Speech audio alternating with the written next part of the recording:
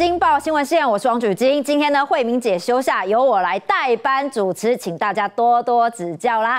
好，大家说呢，这个二零二四大选选完啊，国民党怎么才刚刚拿回立法院最大党就开始来内斗呢？记不记得那个时候选举的时候，傅昆萁说韩国瑜是罗宾汉，结果现在变成负心汉。好，当时呢，韩国瑜说傅昆萁是心肝宝贝，现在变成谁拿去配？韩国瑜呢，昨天发吃饭的假动令，就呛明说不要韩傅韩傅配哦，只会跟江启臣双进双出，甚至还呛说啊假投票我就不玩了。好，这个声音的党主席呢，朱玉伦在今天总算说话了，认了跟韩国瑜达成共识，所以韩江配真的是稳了吗？这一场其余大战，韩国瑜就真的赢了吗？那民众党这边呢，现在也在斗哦，因为传出呢，柯文哲拉了蔡碧如要制衡双黄。那蔡碧如跟党中央不是蛮不合的吗？好，今天就语带玄机的说，有距离的美感也是不错的。好，现在柯家人呢，继续也炮火四射啦，包括佩奇呢，昨天很生气抛脸书啊，继续骂国民党侯正科副造成败选翻不过去的这一篇呢，这个立法院看起来蓝白还有得斗，但有没有可能双方都？在演呢？好，我们今天《金报》新闻线就一起来做讨论。首先欢迎今天节目来宾，资深媒体王瑞德瑞德哥。举荐好，大家好。政治评论员李正浩，大家好。政治评论员许维志，举荐大家好。前民众党张委员张一善，许敬好，大家好。政治评论员王一川，打来哦。还有最近变拽的叶元之呢，稍后也会来到我们的现场。好，我们先来看一下这几天的新闻进展。未来是我们的韩家队，我们一起再次的掌声。侯康感恩茶会到台中，主持人一开口就喊韩江配，被点名的江启臣立即接话。国民党一定坚定的立场，就是清清白白、正正当当，团进团出。我也希望韩江配全力以赴，民进党不要一开始就走了一个啊黑暗面，任何不正当的手段，金钱也好。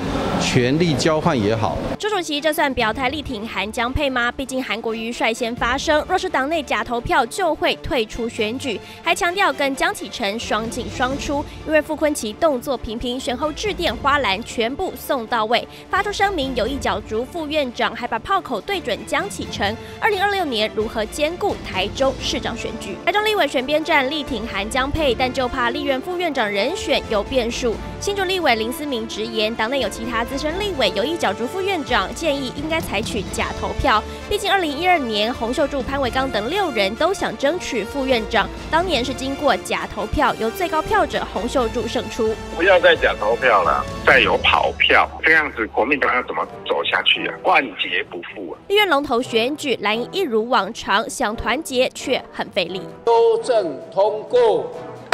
立法院长游锡坤敲锤三读会成为绝响吗？因为新国会三党不过半，国民党五十二席加上两席青蓝立委，掌握五十四席是立院最大党。韩国瑜最有机会抢下立院龙头，要如何抢下龙头宝座？绿营得找出突破点。尤其韩国瑜率先公布韩江配，但傅昆萁也有意参选。当年立法院院长投票，国民党推出赖世宝，应该要有三十八票，却拿下三十六票。除了杨琼英投给自己外，赖品妤意外拿下。下一票，蓝委跑票或投错票都成为绿营突破点。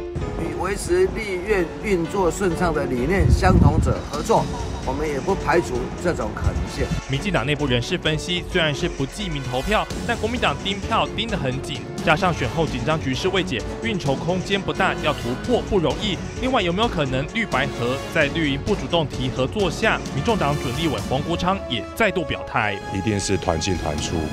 不会有个人被游说。这样子的事情发生。国会龙头改选在即，民进党如何策动蓝白立委跑票？台面下运筹帷幄，肯定少不了。好，这个二月一号呢，国会的正副院长就会来出炉了，就要来投票了。但是国民党这边呢，看起来非常非常的乱。现在先上演了其余大战。好，我们来看一下呢，韩国瑜在昨天呢发了吃饭假动令，怎么说呢？拉了江启臣说会跟江启臣双进双出，甚至还呛下说不要假投票哦。但是傅昆萁这边呢，现在剑指了江启臣，直接也发这个声明稿说呢，哎呀，因为江启臣呢之后还要选这个台中市长啦，看起来呢可能对地方选举哦有些些忙，这部分江启臣 OK 吗？那看起来呢，傅昆萁就是副院长人选，就是我为主啦。朱一伦这几天都没讲话，但突然呢，在今天说话了，认了跟韩国瑜达成了共识。所以请教一下瑞德哥，那这样看起来大势底定了吗？就是韩江配了吗？国民党有一个很特殊的一个特性，就是啊，那么国民党如果落难的时候呢，没有人然后一肩扛起来，哎但是国民党如果成功的话、胜利的话呢，大家抢着要啊，这是国民党的特性啊。所以你看现在啊，这个立法院席是五十二席，第一大党再加上两党两席五党的啊，现在五十四了嘛哎，过半离过半三席而已了哦。所以呢，现在呢就突然间拽了起来。我问你嘛，还没有这样的成绩的时候，大家不是说啊，不分区第一名提名韩国瑜需要韩粉，所以呢就一定是韩国瑜的嘛？对啊那我我问你说韩国瑜为什么？哎，他在这个这这从去年底到这个选前啊，超过一百场的助选呢、我那么累要干嘛？对我那么累干什么？对不对？我那么累干嘛？我就是为了要让当这个立法院院长嘛。所以呢，大家都看得出来，那也认同国民党也认同，大家认为应该就是韩国瑜了。没想到国民党一旦成了第一大党五十二席了以后，突然间开始有一种声音哦，一开始是说。立法院院长人选未必要推韩国瑜哦。那时候推出来这种声音出来的时候，放风声出来的时候，我们就觉得很压抑。为什么国民党里面会有这种声音？开始觉得很怪、很压抑。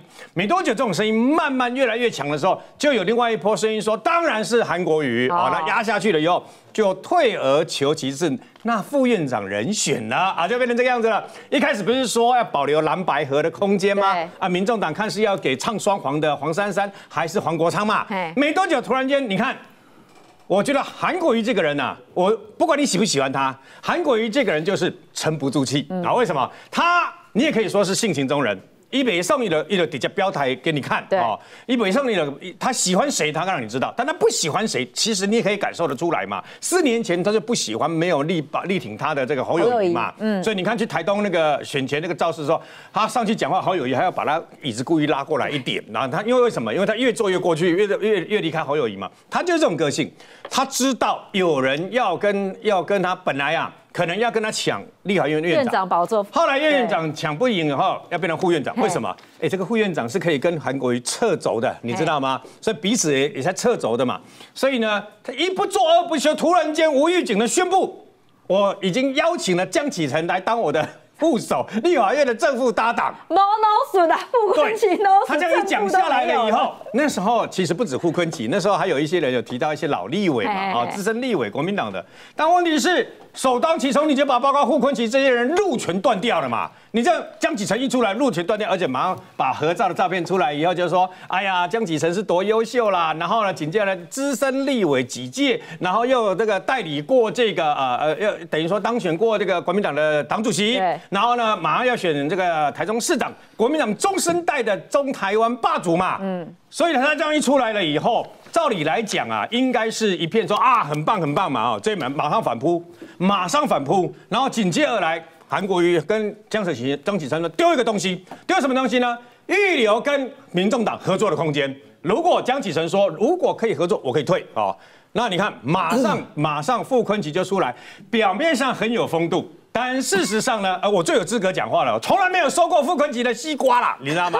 所以我我没有吃过你的西瓜，然后讲话可以非常公正公正、公平、公开，你知道吗？所以呢，你要知道哦。傅昆萁马上讲很客气，表面上是很客气说哎啊，对于韩国瑜啦，对于这个呃这个江启臣啊臣啊啊，他他当然是这个日个人是认为哈，这是一时之选呐啊，但是两年后因为江启臣可能要去选台中市长哎，那你这个副院长呢，平常要带院长，要要主持会议、接见外宾，哎还要怎么哇大家啊这你又要回你的选区去哦选台中市长，那你如何兼顾？嘿光归包的光归包的是高一不不合适啊，不适合啦哦哎，他这样子两边都不，两边把蜡烛两头烧，这样两边不不讨好嘛。那光归包的是，那我也想参加。所以国民党的内斗更开始，哎，不要小看了，为什么？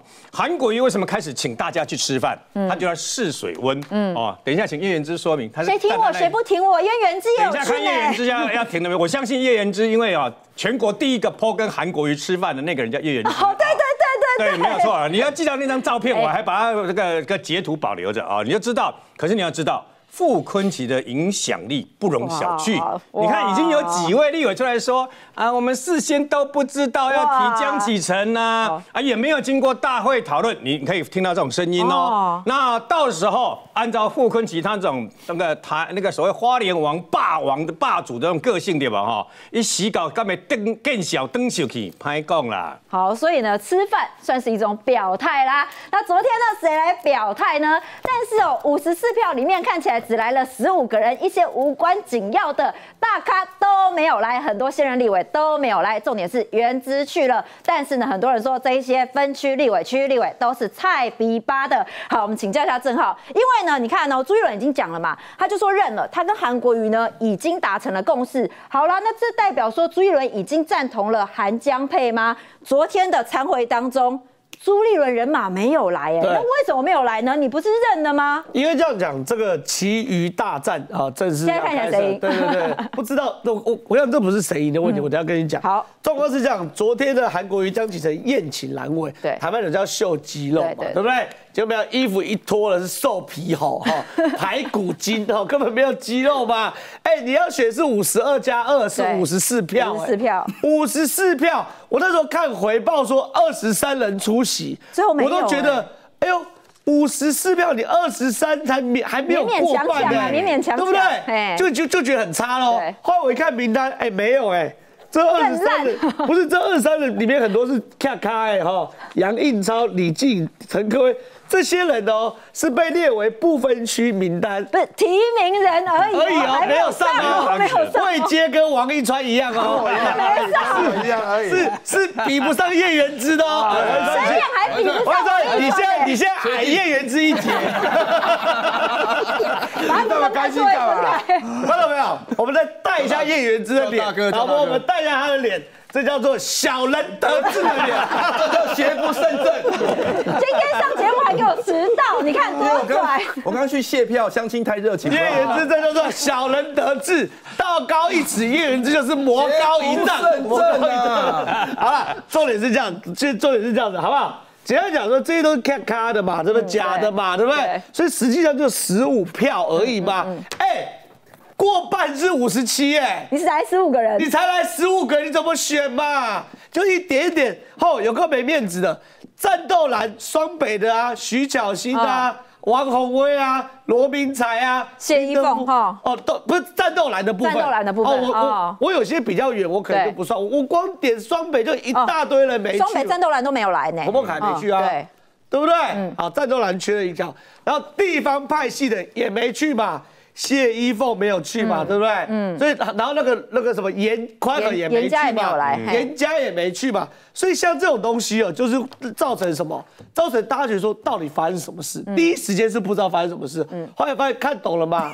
傅昆萁的副院长被江启臣抢走了嘛，所以傅昆萁出来喷江启臣嘛，哎、这已经不是暗潮汹涌哦，傅昆萁直接喷江启臣说你两年后就要选市长了，你在那边啰里吧嗦说什么，对不对？所以这已经叫台面化了嘛，所以谁敢说国民党没有问题？好，其余大战，好，这是第一个大件事。好，那其余大战你会说鹿死谁手，对不对？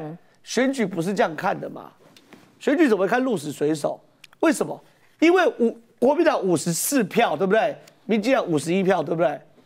你到时候傅昆萁到 K 赌蓝三票倒过来，就国民党就民进党赢呢、哦，所以傅昆萁在这一场有可能是会跑票的哦，因为不记名嘛，对不对？记名都记记名哦。可是上次有人手抖盖到赖平哎也是有可能哦哦。对不对？所以傅昆萁跑票的话，那个没有我这样人跑票就影我这样讲，跟大家讲好，第一件事情先确定事实。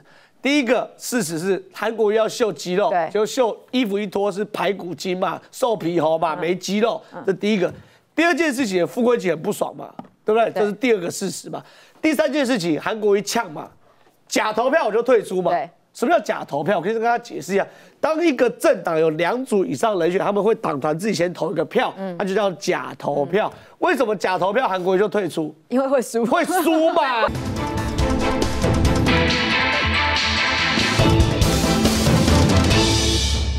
黄国昌选后自办座谈会，倾听支持者心声。总计九场，只有七场办在新北市，难道是为两年后新北市长做准备。黄国昌责任区就在新北，布局二零二六不言而喻。而要跟支持者持续保温，除了黄国昌有座谈会，柯文哲选后北中南有三场小草见面会。第一场周日下午登场，只是选举结果沦为老三，柯文哲把败选归咎民调打压。心腹蔡碧如透露，因为柯文哲还在败选否定期，投票方式哦，开票方式都很弱，因为提出这种不在籍投票，他要如何做这种网络投票？民众党上下急着找新战场，青蓝名嘴黄志贤在脸书开炮，柯文哲应先把裤子找回来，向社会道歉。幸亏是纸本选票，一切有物理证据。若改成电子投票和网络投票，恐怕争议更没完没了，降低他们参与政治的一个成本，而并不是只是为了政党的利益而已。柯阵营败选后，怪投票率，怪制度，怪来怪去，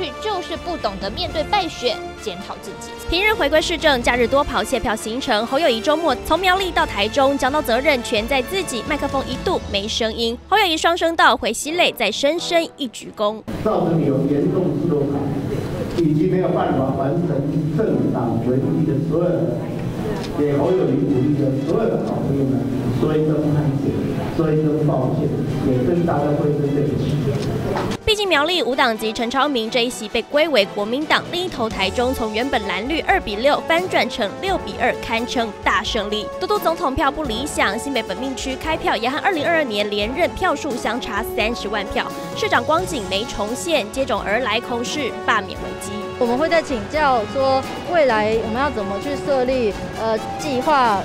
详细的罢免内容，民间团体发起罢免活动，二十号在板桥成立快闪联署站。活动才刚开始，近十五名市民排队填资料，但第一阶段得搜集三点四万份，六十天内再收集到三十四万份，最终罢免票得达到八十二点九万人同意，门槛高。我一定会加倍的奉还全力的充数，让很多的大小建设以及相关去关心弱势，我们一定。会更快速得到完成。下午罢免启动，上午先跑市政行程。侯友谊大选后是否面临第二个挑战，得看市民对侯市长的加倍奉还有没有改。选前傅昆萁早就在帮忙了嘛，嗯，对不对？叶元之搞不好都傅昆萁就帮过了啊，哦，对不对？叶元之有接到傅昆萁电话吗？敢去吃饭？有没有接到叶傅昆萁电话？有没有？有没有吗？没有。选前没帮忙吗？有啦！哎呦，完蛋了！你看叶子顿飞了。我本来跟傅文琪就认识啊，犹豫，所以就有嘛。对啊。所以我意思是，韩国瑜选前帮什么忙？帮站台的忙。对。傅冠萁帮什么忙？两票资源的忙嘛。对不对？韩国瑜帮选票，傅冠萁帮钞票嘛，对不对？好，重点来了，那叫大战嘛。那大战完之后，路两什么两虎相争，必有一伤嘛。这个伤完后会发生什么事？我这样讲。立法院长选举，第一轮没过半进第二轮，对，第二轮就变成什么？相对多数制，嗯，相对多数制就是不用过半，我多你一票我就赢。啊，现在国民党赢民进党几票？他赢三票，哎，所以他只要带三票去就好，带两票就赢了啦，来回？哦，两票很简单，刚好有两个人啊，陈超明加傅昆萁，哦，陈超明本来这次就无党籍选的嘛，对，是不是选上？傅昆萁被国民党开除也习惯习惯了嘛，开除过好几次进进出出啊，对不对？不用三票，两票都倒过来了嘛。所以你没看到游锡坤最近活过来了，到处受访。好，我有机会当院长，什么在民主国家小党当院长是很正常事情。有看到尤院长现在活过来了，所以这个局很复杂嘛。但是好策动吗？那傅昆萁愿意当这个战犯我跟你讲，你觉得很难策动，对不对？我跟你讲，所有的议长局都是这样玩的。二十二县是每一个当过议员都玩过这套。嗯，这对议员来说习惯习惯。按说傅昆萁愿意当战犯，对不对？我跟你讲，傅昆萁如果策斗完，你知道傅昆萁两年后干什么事？什么事？老子选花莲县长。稳稳的哦！徐正威要下了吧？对不对？好无缝接轨，选了。他们这家就厉害吧？傅昆萁当完后，县长会换老婆当，老婆当，老公当不是刚好而已吗？一直轮来轮去，对不对？老婆选立委，然后老婆去选立委，轮去这一家人哦，对不对？哦，我跟你讲哦，如果这场有谈好，傅昆萁两年后去选花莲县长的时候，民进也不怎么骂，对不对？互相帮忙，互相互相吧。对不对？所以这件事情整个局就讲这样嘛。所以我认为啦，朱立伦的表态当然是说帮韩国瑜增加几票，朱立伦有票，不分区是他票，嗯，对不对？可是问题是现在不是增加几票问题，现在是跑几票的问题。我再讲一次进入到第二第二轮投票。跑两票就民进党当院长哦，所以像原之这种菜逼巴的，应该就不敢跑了。我跟你讲，我跟你讲，再讲去的都菜逼巴，廖先祥、张志伦、刘喜廷、叶元之、林佩祥去的都菜逼巴，都第一届哦。好，那老谋身上都还在拔草看风向，好不好？对不对？这是重点嘛。好，所以请教一下原之，原之昨天去吃饭呢，你没有收到傅昆萁的花篮吗？傅昆萁选前没有给你帮助吗？有没有收到傅昆萁花篮？花篮有收到。花篮有收到，那你还去吃这个饭？哎，不过我跟大家讲一下哈，用你如果用出席的人或没出席的人解读说谁支持韩江，谁不支持韩江，我觉得有点失真。你怎么骂人家没出席呢？出出席，谢依凤没出席，呃出参与参与。谢依凤没出席，你不要，你真的不要在连国人没出席，谐音梗哦你。你看这种就是哦，两边都不得罪，你知道吗？叶元之有出席，有出席。为什么？因为哈，比如说没有出席的徐小新啊，他因为人在日本，所以没有出席。哎，然后还有就是那个制作单位字幕要打好，没出席的席不要打错，不然他会臭徐小新啊。对，就是说，而且呢，其实他这个通知的比较晚，比如说我是被。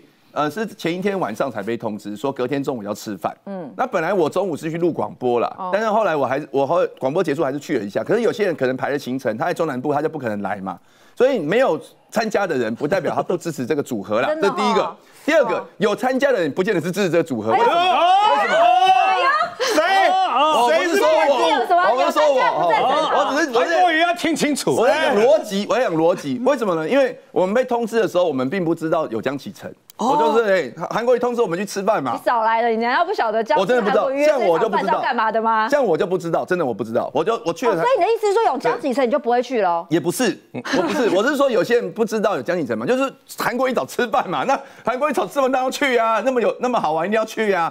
所以不见得是对江韩江佩的表态，我觉得我觉得是两回事。但是你从这个通知那么急的过程当中，其实可以看出来，就是这件事情实际上是有有刻意的目的啦。我刻意的目的啊？为什么呢？因为理论上来讲，韩如果说如果说江启臣他想要选院长的话，我觉得不是这样操作。嗯，他应该是在选前就要跟大家互动。对，那江启臣在选前是根本完全没有互动，嗯，选后也没有互动。就譬如说花，或者是像赖呀，我都有收到严宽恒给我的赖，说恭喜恭喜，或是罗志祥，但是江启臣是完全没有。那再来讲傅昆奇这边，你应该比较挺才对。傅昆萁我们本来就比较熟，你有没有收过他像我跟我跟李正浩也熟啊，然后你知道选前说帮我的部分也没有啊，有好不好？对，你来害我直播剩六千对啊，就是人跟人互动本来就是这么一回事。可是你如果当你要选副院长的时候，你应该会刻意去做一些关系的经营，也没有，所以这个东西是非常突然的。那我就觉得非常好，就是很有趣，就是说为什么会这么突然？就是说，哎，我们也是看脸书才发发现说，原来要韩江配，怎么会怎么会这样？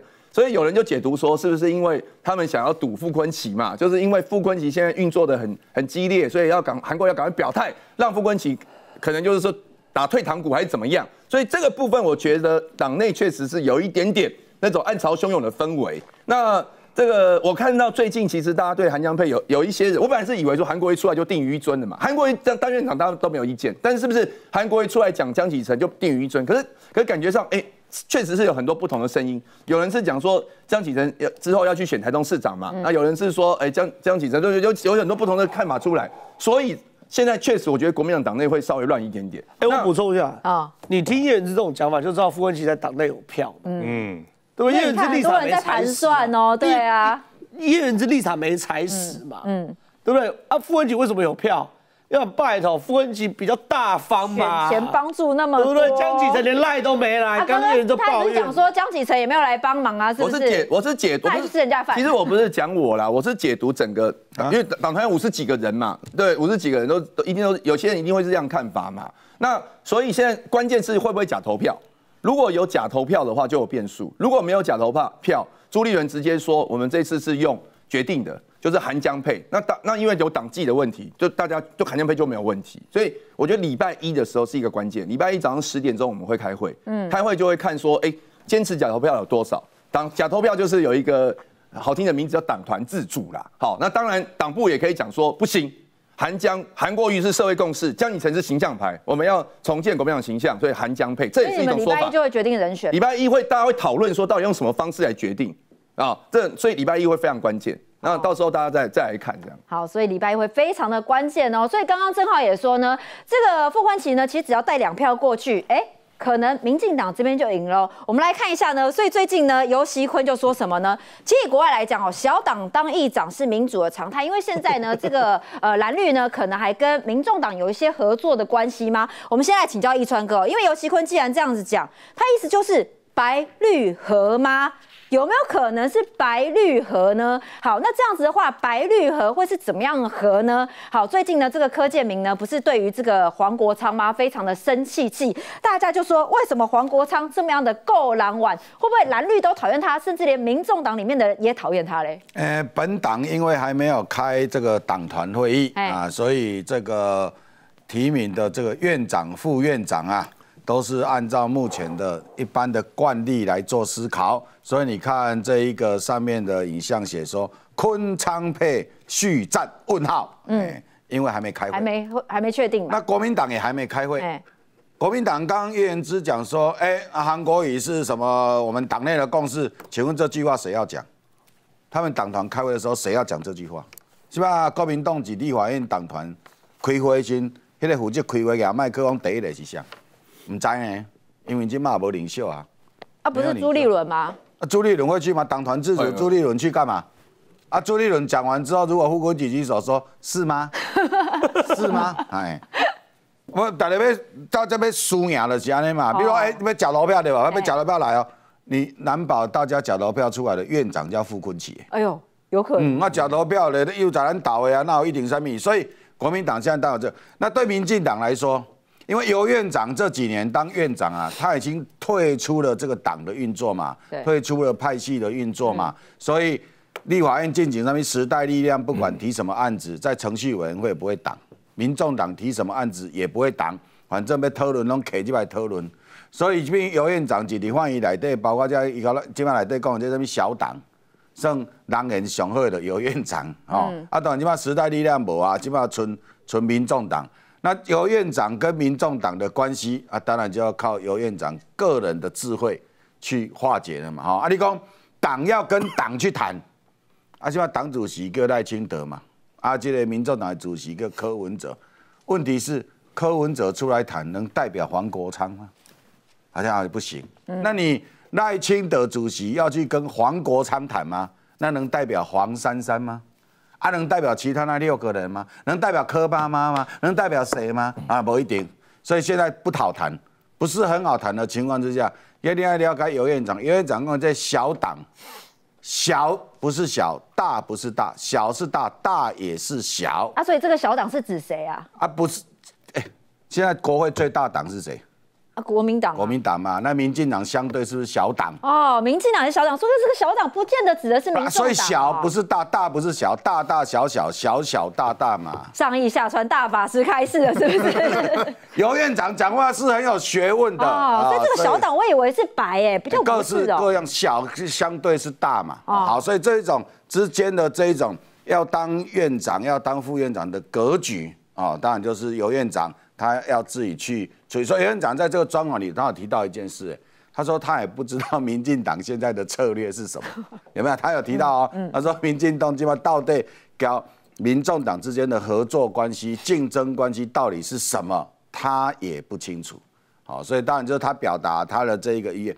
我回到刚刚讲那个国民党那一个，国民党那个有几个有出席的，除了叶元之以外，像那个林佩祥，林佩祥的妈妈跟傅昆萁不好吗？张志伦的爸爸跟傅昆萁不好吧？都很好哎，哦，都很好哎。啊，所以引起了傅昆萁当然得靠张庆忠啊，会靠林佩祥姨妈妈。靠站在啊哈！你现在给我表态了是不是？哎，讲咱家己的孙啊，那去刚去吃一顿饭哦，这这电话随便打一下就。而且如果有人知道那一场有江启程，像叶元之，如果知道江启程，他就不会去。没有，还是会去，还是会去。还是会去啊？那傅昆萁约你吃饭，傅昆萁约你吃饭，你去不去？今天晚上去啊？看吃什么。我的意思是说，看菜色，看菜色宣传菜单啦。对对对，我的意思是说，傅昆奇现在因为因为傅昆奇当立委已经当很久了，哎，他跟这一个很多立委，包括比较资深的立委，大家都有好的感情嘛。那大家当然对傅昆奇要去选副院长，其实我跟你讲，大家都乐观其成。只是说因为韩国语的关系，所以呢，大家也不好意思说这个不支持韩国。傅昆萁也支持韩国瑜选院长啊，傅昆萁要的是副院长啊。嗯，所以对傅昆萁来来说的话，哎，阿你玛给他棒尊重哎，哦，你要选院长，啊，你怎么忽然间给我跑出一个江启臣？韩国瑜你要选院长的，你选院长我嘛听你啊，你香港招出一个江启臣，啊，我都唔知，啊，我都唔知，啊，唔知，啊，唔知，无大家来假投票啊，哦，所以。所以这个新主那个林思明啊，昨天也跑出来讲嘛，讲说啊，最好来假投票哦，没有一定要江启臣哦，什么什么。我的意思是说，当党团开会的时候，那一个拿麦克风讲说，我们呢期待我们推出来的组合就是韩国瑜加江启臣这一句话，现在在民民呃国民党的党内，没有人说得出这句话来。好，但要请教一三哥哦，因为现在看起来呢，这个呃白要跟谁合作，或者是他们自己推人，现在还是未知数嘛。那白要跟谁谈，是黄国昌谈还是黄珊珊谈，好像也不知道。那之前柯建明如果总招有说呢，对于黄国昌就是很讨厌的话，那如果是黄珊珊的话，有机会吗？你自己怎么看这个绿白组合？我我觉得是呃，先讲说院长跟副院长，其实对于民众党来讲，反而是不是重要的，而且觉得会绑住他们的人，因为他们的战力最强就是黄国昌跟黄珊珊嘛，未来是。是要选所谓的台北跟新北市长，而且他们有两人条款。如果两年他们之后不是立委了，那还要再重选一次，所以他们一定不要院长或副院长。对于黄国昌来讲，反而副院长绑住他，他不可能一边敲锤子说一边讲太离谱了。他除了讲太离谱，他也不没办法干嘛，因为他只能敲锤子。所以他可能不是很想要，所以他不是想要院长或副院长。所以民众党这一局就变成是说，他可以叫做呃呃自由投票，或者说投给蓝，投给绿。或者是我们自己推自己人，反正也不会上。但是他重点是，他们一定不想要所谓的立法院的院长跟副院长，他们就可以弹性灵活运用这八张票嘛，甚至有开放投票，让你们去挖。哎，那个东西就是要柯建明的讲的所谓起义来归嘛。自己来，我不会跟你柯文哲谈，因为柯文哲要什么不知道，而且柯文哲会讲什么不知道，因为柯文哲的个性跟黄国昌一模一样嘛。这也是为什么柯建明对黄国昌那么气的原因，因为很多事情房间里面讲，你出来是讲一套，然后你声量比较大，就把所有的人讲的话扭曲嘛。这也是为什么柯建明在黄国昌在彼此之间，他们在立法院的任期内，那么柯建明那么气黄国昌原因。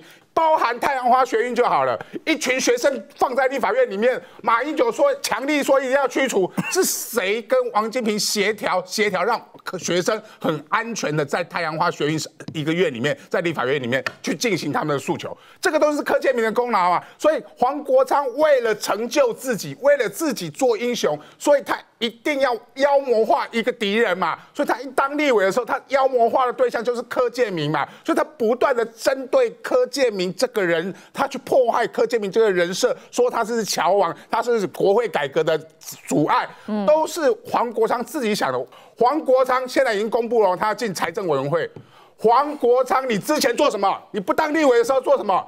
你去瞧大同的董事会嘛？你去瞧大同公司的股东会嘛？有办法利益回避吗？结果你今天要进去的，要进去叫做财政委员会，一直在揪嘛，揪心力啊嘛。我以前瞧大同，以后要瞧股东会都来找我啊。股东会有争议都来找我啊。哎，处理股东会的争议利益背后的利益有多大？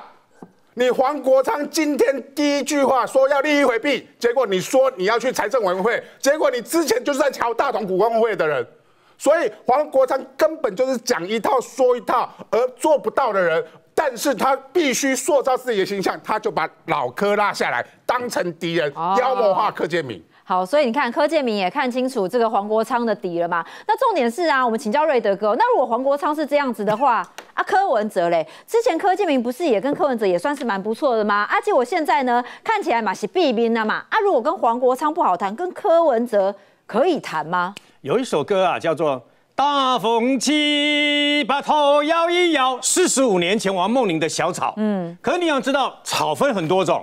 有一般的小草哦，很可爱的小草，也有猪笼草哦。什么意思啊？那么政治人物不要只听他讲什么，要看他做什么。二零一三年，那么柯文哲那时候呢，无党无派，什么都没有，甚至于 nobody 的情况之下呢，要想要啊靠自己白色的力量闯出一片天，没有粮草，没有组织，没有人帮他打选战。跑到民进党去要支援，嗯，当时负责那么巴拉这个包括操盘的中粮草了，最后终于哦，包括当时我们在内啊，这些人去帮，当然还有一个非常可恶的张义善在内啊，因为他跟在柯文哲旁边时间比较久，所以他可恶程度比较高，所以啊，那时候大家帮他的结果，他当于当了台北台北市长了嘛。当时啊，柯文哲啊啊当市长的时候，还跟柯建明还有包括他妈妈一起到新竹城隍庙去拜拜。哦，如果能够当选台北市长的话，一定怎样怎样。当选了以后，又是原班人马，又是柯建明、柯文哲、柯妈妈一起在新竹城隍庙，感谢城隍老爷让我当选了。当时柯文哲讲了一句名言：“好在新竹是在中央，有柯建明。”哦，那个时候还好还好哦，新竹市因为他是新竹人嘛，对，新还好新竹市啊有柯建明啊，没有柯建明的新竹市怎么办呢？建设什么东西怎么办呢？然后怎么办呢？柯建明。出了一本书，那么出了一本书啊，那柯文哲也应邀去参参加观礼的贵宾啊，表态支持柯建明当立法院的院长哦。当时，当时你怎么你怎么不去批判这个老柯柯建明啊？你当时把人家捧得高高的，对不对？捧得不得了啊！现在选前去年底，柯文哲批判。批评说，民进党如果过半，柯建明就会当立法院院长。啊，民进党过半，柯柯建明当立法院长，不是你当年的心愿吗？十年前你的心愿嘛，对不对？真的是这类人，面临到当年的这个小草，现在已经变成了不知道是什么草了。以后呢，柯文哲面对啊外界对他的质疑，他说他后来没有这样对我，他后来有骂我哦。所以啊，后来人家有批评你，有骂你，你就完全唔知什么叫做假规矩拜求桃啊吗？你就不知道当年人家是怎么对你的，怎么拉拔你的，怎么把你捧起来的，然后最后你现在说你搞玫瑰，所以我哎呀，他不是在选前骂那个王定宇吗？嗯，说他有帮王定宇去台南站台，然后呢，他有去帮王定宇什么参加他的募款参会，公公安阿雪恭喜民进党跟王定宇，大家对不起他，然后利用完他以后打完选战以后，再再把他甩到旁边去嘛？你怎么不讲？二零一四年没有我们，有你吗？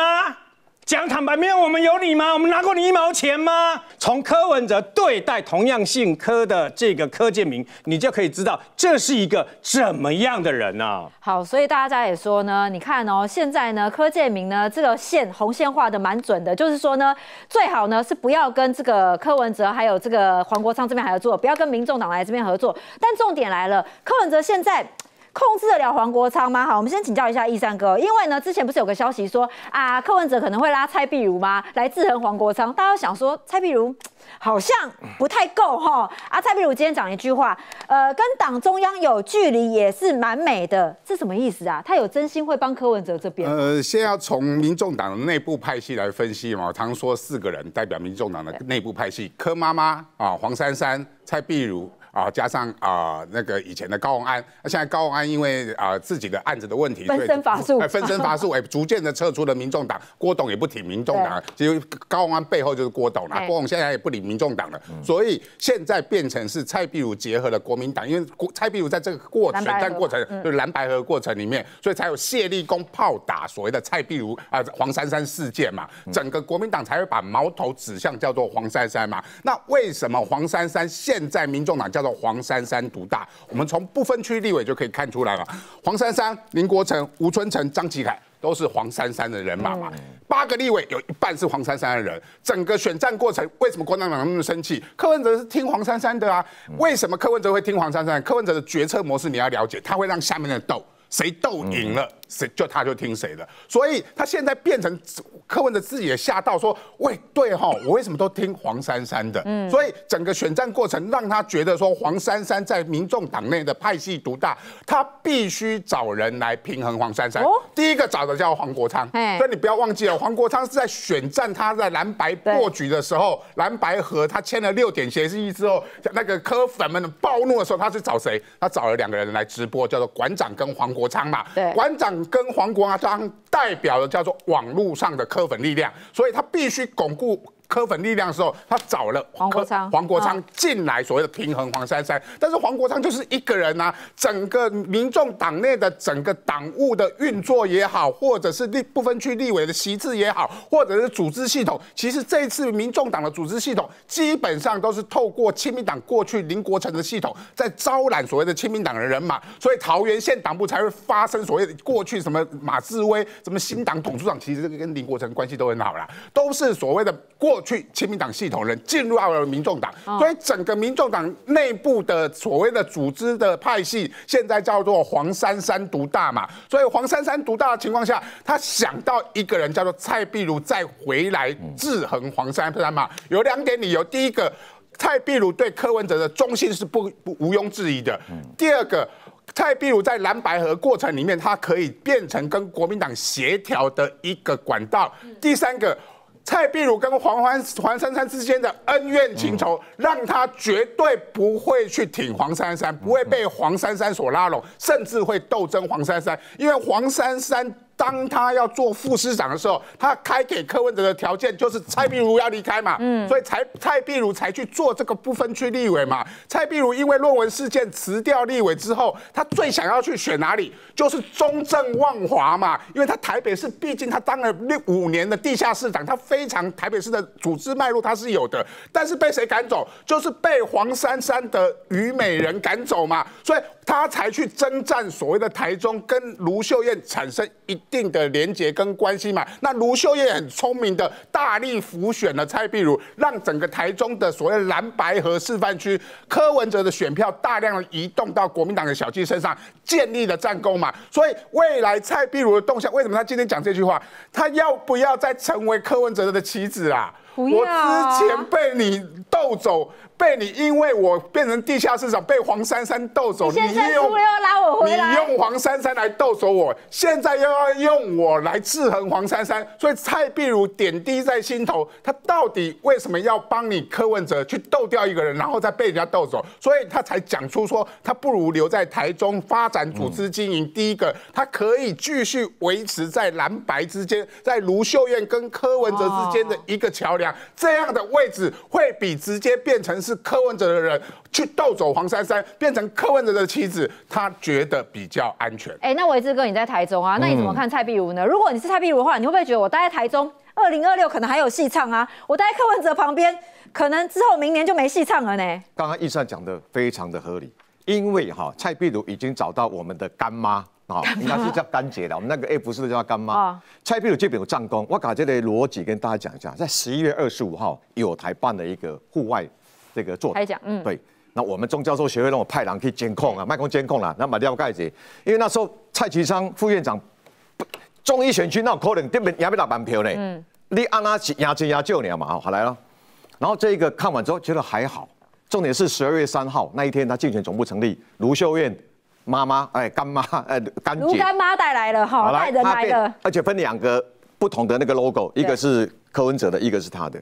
这次所有的区域，民众党的区域就蔡壁如选的最好。嗯，哎，你跟蔡其昌呢？本来以为说中和选区的那个红派大概台面上人物可能一开头也没有太积极啦，最好输七千票呢，背班对七千三呢，来了，结果呢，这一个台中市的我们的卢市长，大家都已经讲到哈，未来要问鼎九五之尊，嗯不要忘了两年之后的二零二六年，刚刚提到江启臣，蓝白在这次台中绝对都赢，赢得非常哎，就是白色的也帮了很大的忙。我问你啦，林静怡、江兆国、庄敬诚、张廖万坚这四个人，条件安那东逼对方更学历、经历、人品对，拢赢，嗯，龙输。然后这个状况之下，蔡壁如虽然说是小输，但是也立了战功。那刚刚一再讲的，他要留在台中，在台北我是和你过来呢，我跟你哦，台中他找到第二村的政治第二村，所以这嘛蔡壁如留在台中要选议员呐、哎，不是啦，他不是，我是指说白色力量的年轻人呐，包括里长都跳过来的，蔡壁如可能也可以做参议啦，参议的类似不管部的部长了哈，也是一个局长的时候被。我看这个一定会被卢妈妈给重用，你放心。那我来解释这一局，白色力量本来在台中市议员就一席而已啊，好就一席而已。好，现在目前年轻人靠过来了，我们去去看那一些场合已经惊到，包括十二月十六号韩国瑜那一场帮帮蔡壁如站台的，一直到十二月底讲，哎、我都搞那个机枪诶，他有一个子弟兵叫施志昌，嗯，机枪那后边讲，诶，机枪，你有感觉怪怪不？你有感觉危险不？讲什么危险呀？这么有了吼，连赌盘子开不到两万票，讲，诶，我差吼，内差那个差了也有差几趴，你讲那有可能蔡壁如呢？所以这一局里面哈，整个在中部里面呢哈，就是说在台中市这个，不管是江启臣选市长，或是卢秀燕这样要选总统，蔡壁如在台中有角色。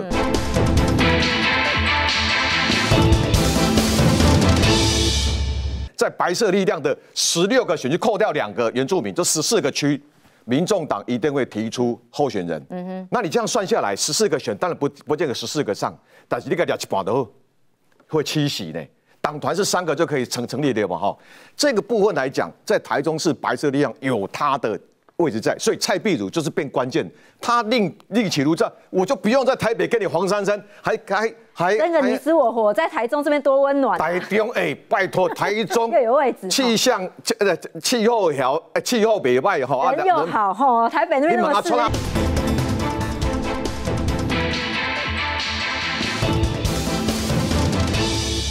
警察哥哥站在面前，小五男童还是低着头不断看手机。到警局后一脸丧气，还不知道几个小时前爸爸妈妈有多担心。一月十号他放学后失联，结果是跑去看阿贝。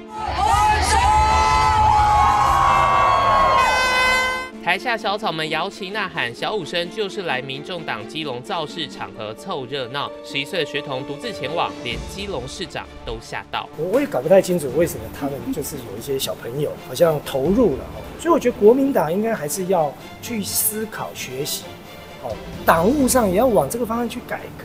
小五学童眼睛紧盯台上柯文哲，民调专家分析，柯文哲选票本来集中在二十到三十九岁居多，后来又扩散到四十九岁，跟蓝绿真选票向下扎根，十六岁以上族群成为选后目标。放眼二零二八，非常高密度的高啊，这个会支持柯文哲，嗯，而且重点是四年以后他没有投票权，对，哎，那这块也是变成现在蓝绿在这次选举上面来看是比较弱的地方。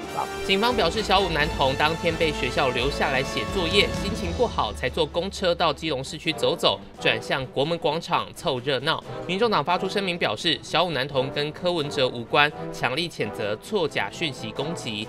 小五男童看造势场合释放压力，却让一票人绷紧神经。新竹棒球场工程何时改善？从去年八月底，高鸿安大费周章请来美国场务专家查验，球场如今荒置一年以上，据传据家营造和球场改善进度无共识，兴起和世福解约念头。会不会是因为新竹市其实有所谓的大密宝？高鸿安在二零二二年宣称新竹有大密宝，期间也多次开挖球场。二零二三年八月更是找来美国场务专家挖土送验，美方给出三大改善方案，最后市府决定采取全面更换天然草皮进行改善。高鸿安上任一年多未有动作。据了解，十八号居家营造和市府开会时透露想解约和认赔离开的想法，主要是有太多因素无法确定，加上改善工程。拖太久，现在未有确定方向。目前并没有收到厂商任何解约的讯息，请外界不要捕风捉影。棒球场的内外工作部皆在持续进行当中。即便是府人员出面驳斥，改善工程延宕一年，民众何时才能等到球场再度启用，恐怕遥遥无期。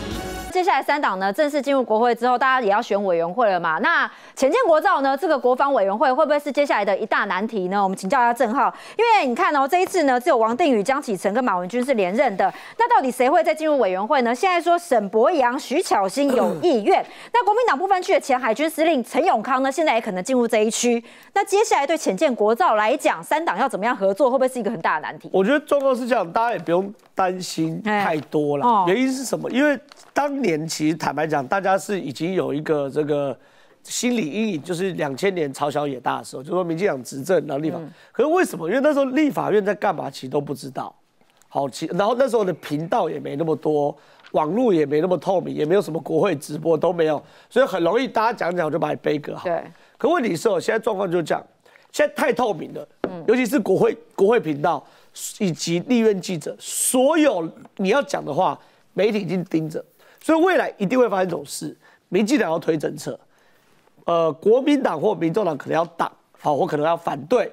可是很简单，你只要挡跟反对，你要讲出个道理来。你讲出个道理来后，黄国昌可能讲歪理，讲个歪理完后，民进党立委要马上针对黄国昌歪理去做反驳。我的意思是，除非国民党跟民众党未来四年就是要当个摆烂的反对党，什么都摆烂，什么都焦土。可如果走这条路的话，拍谁呢？未来再选一次立委的时候，这些人会全挂嘛？这太透明的嘛。那好，那就变成讲道理，讲道理大家就要拼嘛。其实民进党好，我今天要浅见国道第二第二烧，你国民党要挡，你民众要挡，你讲出个理由来。你的理由如果对，大家风向在你这边啊，民进党摸摸鼻子。嗯。可如果理由不对，哦，叶元之没办法熬，那就过来，那就浅见国。所以我觉得这件事情就会，它会有一个。蛮透明的状态，所以阿川才会戏称嘛，戏称说什么东西？哎呀，未来这个要做个国会直播主，告诉大家现场发生什么事情，要不然不晓得现场到底谁在吵架。我我觉得真的搞不好可以变成一个职业国会直播组啊这一块。那另外一块呢，这是最好的，是什么？大家都别再被民众党巴西绑架嘛。嗯，对，民众党巴西，让人家觉得觉得哎。太夸张什么？端那么高，你才八席高就要八十席，出考卷叫蓝白来答，四个承诺，阿川讲最好啊，你给我承诺，我说好啊，好啊，OK 啊，OK，啊，不要多少，边缘化他们呢，把关键少数变少数，结果果然蓝绿都老老江湖，对，你只有八席的在装八十席嘛，大尾巴狼嘛，对不对？我蓝绿都不鸟你，理都不理。把你当空气，对不对？所以黄国昌摸鼻子啊，原本还笑想副院长嘛，摸鼻子就说我不在乎位置啦，我要去执行啊，什么什么东西，对不对？所以我觉得这是最好状况，八席人就八席，少啰嗦也少吹牛，一一三席占八席，一成都不到，对不对？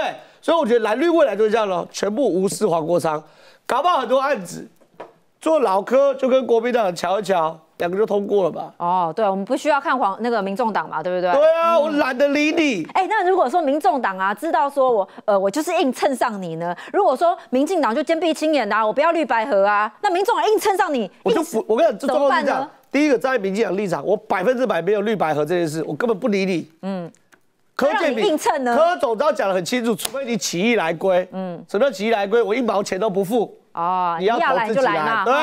柯总要讲了嘛？为什么要兼并企业？很简单嘛，长期战略是什么？我把民众党往蓝的推，长期战略二零二六、二零二八又有蓝百合的问题嘛？嗯，对不对？短期战略是什么？我为什么要被你勒索？少数就少数，你干嘛加关键两个字？那国民党也一定嘛？国民党现在也没有人要跟民众党谈嘛？对，直接说韩江配嘛，对不对？那说如果你愿意，蒋启成可以退，意思是什么？也是起义来归的概念嘛？那两边都不要理他嘛，所以我跟你讲，到最后很有可能，民众党去随便乱蹭啊，黄国昌一个人团结了国民党跟民进党啦，反倒团结蓝绿哦。然后黄国昌干嘛呢？每天就开记者会，让他的咆哮刷存在感嘛，各取所需嘛。所以我觉得国会大家也未必要这么的这个失落了哈。这些都都是有可能会发生的，所以大家说黄国昌到最后该不会是功臣之一吧？制造了蓝绿河哦。好，但要请教易川哥，佩奇又来了哎，佩奇昨天又抛文了呢。啊，奇怪呢，奇怪，那个民众党这一次变老三，这篇好像很难翻过去嘞。陈佩奇呢，第二次抛文喽，说为什么是侯正科副呢？他第二次抛文说应该要是柯正侯副，不然怎么民众党会输呢？好，里面写说国民党呢当时口口声声所说的要在野整合，根本不是以政党轮替为最大目标。而是他们要当正的，绝对不会退让为前提，然后左拐右骗，硬凹先生去当副的，能赢最好，不能赢至少也打趴了柯文哲，拖垮民众党，让他们能维持最大在野党的地位。先生说他轻忽了这个党要找人整合的恶意动机，的确，人被骗了一次之后就不会被骗第二次啊！我被骗了之后，不是鼻子摸摸就算了吗？我就老三了，干嘛要再出来写第二次呢？好，这个是陈静怡呢，这个柯文哲前幕僚他说。第三夫人，第三夫人应该要想一想，全台湾有百分之七十三的真实人类不希望柯文哲当选，自己要懂得检讨。另外呢，凯道直播虽然创下了台湾历史上的新高点，直播三十一万人同时收看，但是真正能投票的到底有多少人？海外多少人？后台看一下都有数据，你没看吗？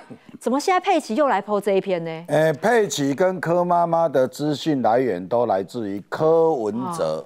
回家以后碎碎念，碎碎念。所以陈佩琪的资讯一定是柯文哲告诉他了。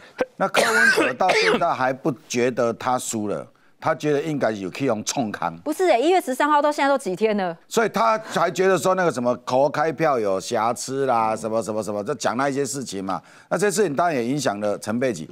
陈佩琪这第第二篇文章的内容，好像是他最近才知道呢。啊不是跟上一篇有点冲突？不是，就是蓝白河的那个阶段，他们都不知道他们被骗、被整还是怎么样吗？啊，我们节目都有跟大家说啊。对，但是他们的脑袋里头还是觉得。按照民调，他们会赢啊！我不管啦，反正我们就要赢就对了啦。对，所以整个这个柯文哲啊、陈佩琪、柯妈妈，全部都还陷入在那个我们为什么会输的这一种逻辑，就有点类似像柯文哲第一次没考上台大医科，柯妈妈应该就说：我问题啊，这眼睛，这么巧呢，啊，奈考不掉。咁咪鸡啊画唔对，还是老师改唔对，还是电脑设唔对？搞不好他妈妈柯妈妈当时就是这种心境啊，嗯，所以他们现在还是觉得说那个开票应该有问题，嗯。啊，他们可是都要回头想哦，他们的资讯来源都是柯文哲哎，所以到底谁给柯文哲这一种错觉？嗯，哦，当然就是他一场一场的这个什么。什么小炒了啦？这种粉丝的这个活动，然后那个民调把手机比例调得很高很高很高，让他觉得有这种这种幻觉了哈。所以他们现在没办法没办法跳脱出来。所以接下来呢，这个民众党的下一步啊，搞不好他们还会很自以为是的，比如说啊，下一次的这个县市长选举，嗯，他们可能会自以为是的说，我们选一定会赢，尤其对到那种三三三的选区，嗯，就是说像桃园这一种。哎，桃园的的这个柯文柯文哲的票是三成哎，对，台中也是三成哎，所以你说这一个呃台柯民众党在台中市长这一役，他们会不会缺席？不会，不会，一定会出来嘛。只要是三三三的，他们都会参与啦。啊。但是呢，如果遇到四三二了，就是民众党是二的，这民众党就不一定会动。可是他们如果看到他们有三成，包括像什么新竹市、新竹县，他们也接近三成呢。所以搞不好新竹县他们也想要参与卡。哎，那这样话蓝白河的几率会不会在二零二六就越来越少了？然后就一定会停。现在就已经没有了啦。还有有什么蓝白河？不可能蓝白河了。刚刚这个 教授级教授讲说，这个蔡壁如会被用，卖光啊啦。卢秀燕啊，卢秀燕只是把它用完之后就把它冰起来，哎也，把它丢掉了。你看他两边上面参议之意，上面议耶。副市长给黑叫这可爱，就代表没机会啦。这可爱动物区啦，在议会的时候坐在边边角角，没有人会理你的可爱动物区啦，也没有什么。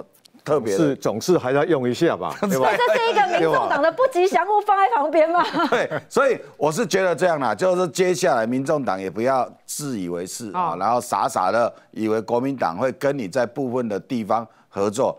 如果你这样想，你就会陷入到这一次总统选举，到最后你们还是要开战的。好，所以请教一三哥，所以你看佩奇干嘛再 PO 这一篇呢？刷存在感嘛，就是唔敢玩嘛，我要跟蓝的撤了嘛，都是蓝的不对，都是国民党的不对嘛。那你看是民众党也很怕他们的势力渐渐变小呢。明天有两场活动，哎，北部一场聆听小草，中部有里长训练座谈，是不是民众党柯文哲也发现，哎？我要怎么样维持这股势力呢？陆战开始又突然发现很重要了吗？呃，选前怪民调，选后怪做票，然后怪小草不出来投票。嘿，啊，即使小草全部投给你好了啦，你二零零八二八年还是不会当选哦。这这网友非常仔细的整理说啊，没错，年轻人哈手头族会越来越多啊，但是到了二零零。二八年，那么算手头足，科即使是七成的手头足哦，在三四十岁以下都全部投给你，七成投给你哦，很高哦。其实，在民调上面大概科不到五成呐啊，但是他们估七成都投给你。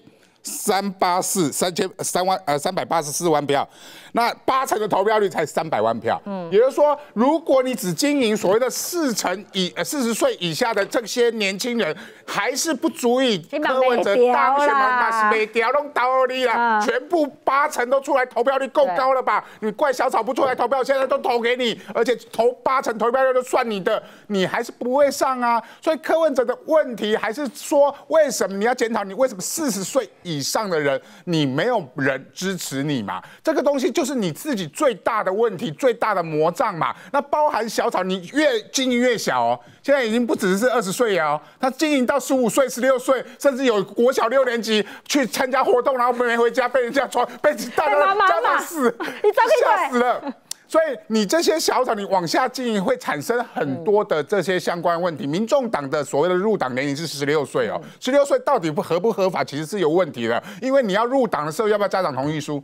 十六岁是没有法完整的法律责任嘛，所以你还要带家长同意书，跟柯文哲一样谈判都要带家长同意书，他到底有没有自主性？所以你看他台北、台中办的这两场，对他实际这个拓展的票源有效吗？有有限，因为你来的还是年轻人。所以你还是最终回来，你还是要透过选举，透过提名一些，我觉得年轻人去参政很好，去透过参选所谓里长、议员，然后去经营这些基层，然后去服务这些阿公、阿妈、阿伯们，这些小草才会长大嘛。否则这些小草看你一次选输，两次选出，我跟大家讲，小草会变仙草。什么叫仙草？哦呀。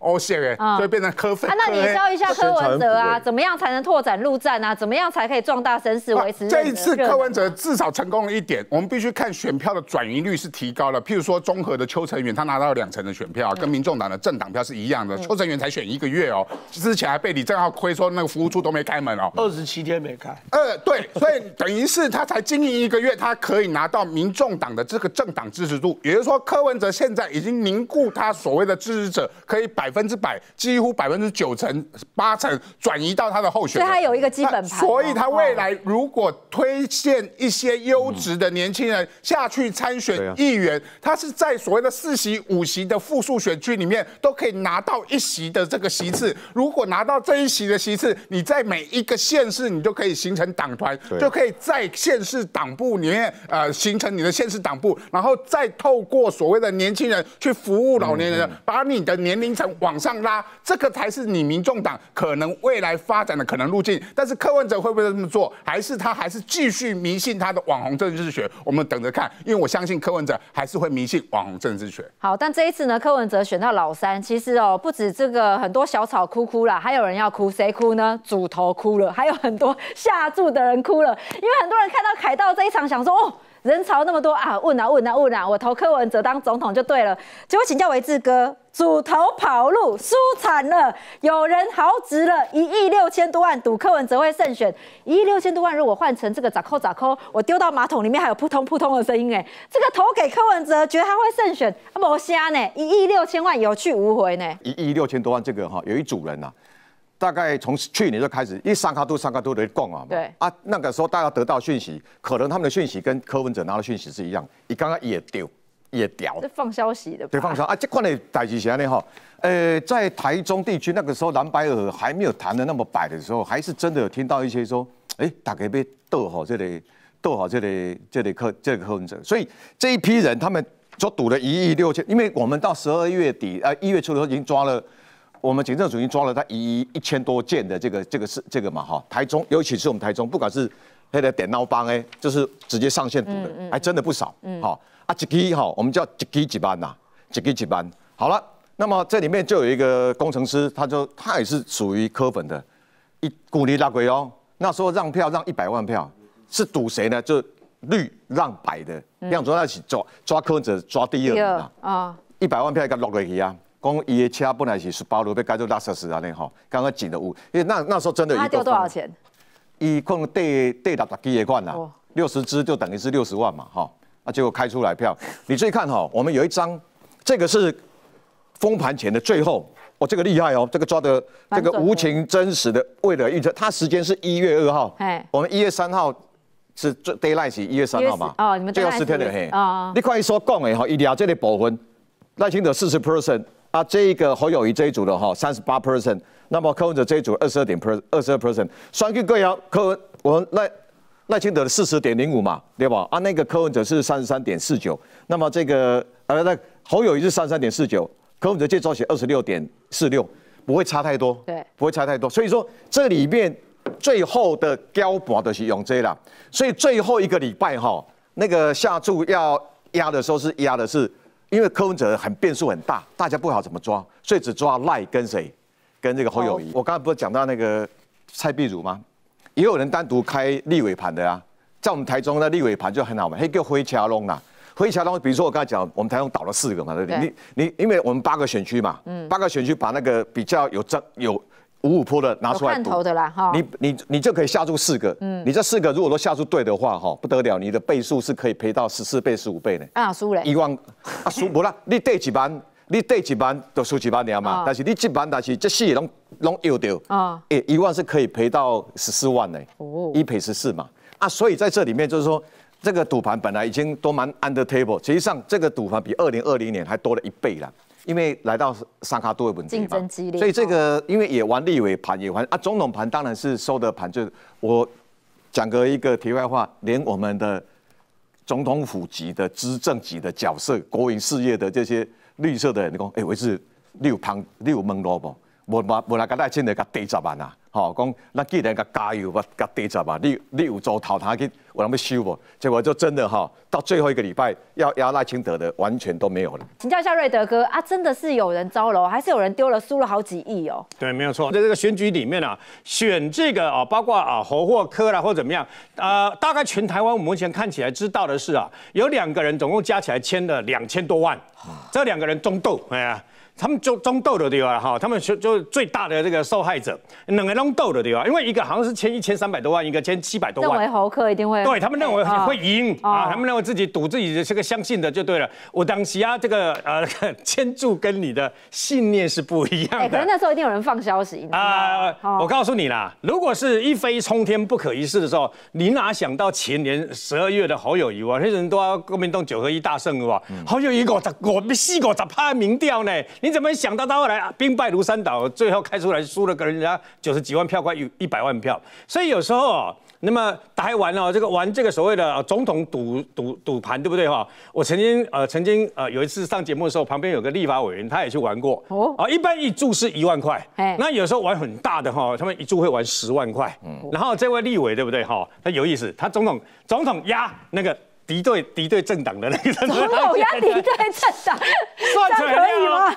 请一通啊？为什么？为什么要讲伊贷几啊百万啦？我请一摊讲伊贷几啊百万，送个啦，送个真正好唔得人记得对。我讲你这样怎么对？你这你你自己去压低对 他说理智跟理想是两回事，他没错的。遇到钱大了现实一点。那事实上呢？呃，台湾总统大选呐，招楼左逃招楼哈，左逃招楼最严重是发生在什么时候？二零零四年的三月二十号。嗯，为什么？安了。连送阿个两两个合起来以后配阿扁，前一天发生三一九枪击案，两颗子弹改变了整个命运。我我我们必须坦白坦白说，在此之前连送那个民调几乎都是拉距非常高的嘛，所以后来才误判情势。本来连送阵营有人说要不要申请就暂停那个选举嘛，结果没想到他们误判，认为说不会影响到，因为民调差那么多嘛，开出来了以后差不多归板票啊。那一次亏损，不然大家都压，一定压，一定是这个等于说连送当。选。亏损了，左头招楼，无照比赛，就一定爱照对对吧？因为那个是几亿、几十亿的输，某照比赛的对啦哈。所以你就知道，那这次这次其实你说哦，除了这个总统之外，立委有没有？有，尤其在屏东。屏东屏南的徐富奎，嗯，徐富奎其实大家不知道那个主头和主那个全台湾我们这一次抓金额最高的相关的总统赌盘跟立委赌盘的，其实是在屏东，在去年十一月。就先抓了一个四万五呃四亿五千万的，隔没几天又抓一个三亿七千万的，两个加起来都已经超过八亿多了。我一定很恨李正浩他们的，结果去这边抓，这边抓，抓了一大堆。本来想说已经抓一波，不要再抓了吧，又抓一波，结果全抓了，要单单屏东这港两十个亿啊，你知道吗？就就抓了一大堆。那时候本来哦都不看好徐富奎，因为徐富奎刚刚出来，他是一波三折出来的嘛，所以呢本来都认为说徐富奎必败就对了，没想到后来逆转胜，走。逃招喽！慷慨激昂的北韩官媒最新纪录片中，南韩媒体火眼金睛，一眼就发现北韩领导人金正恩从一辆黑色 SUV 下车，后座车门上还刻有国务委员会委员长标志，这正是宾士集团旗下奢华房车品牌迈巴赫车款 GLS 六百，是宾士最贵的 SUV 商务汽车，要价二点六亿韩元，约台币六百一十万。